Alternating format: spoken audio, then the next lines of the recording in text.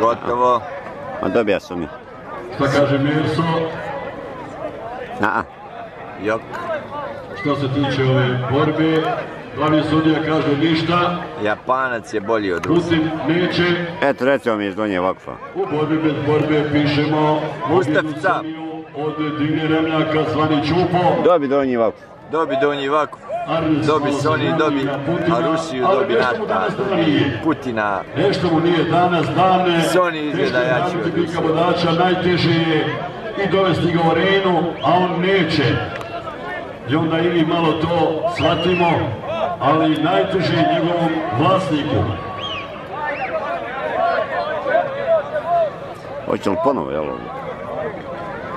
Nema ponovo ovdje. Čije se ovo otkinuo? Čiji? Stipe? Imaš ti Stipe? Nečiji se tamo, kaže, bik otkinuo. Evo dobivamo upustvo ovdje redara. Nemoj mi na genšira da naleti.